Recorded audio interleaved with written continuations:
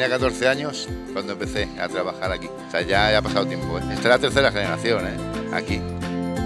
Al final, detrás de los puestos del mercado hay, profesionales.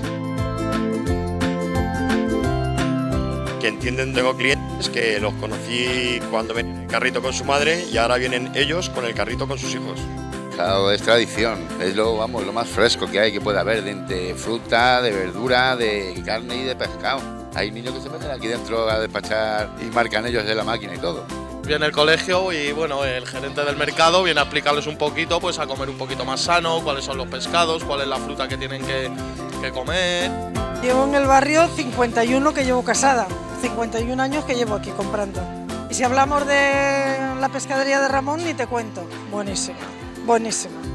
Al horno, el besú al horno. Una buena ajada por encima, tipo a la bilbaína y buen apetito. Al horno con una base de patata y cebollita, patata a lo pobre, luego se pone el rodaballo encima y a la, un poquito, un chorritín de vino blanco, poquito, y a chuparse los dedos.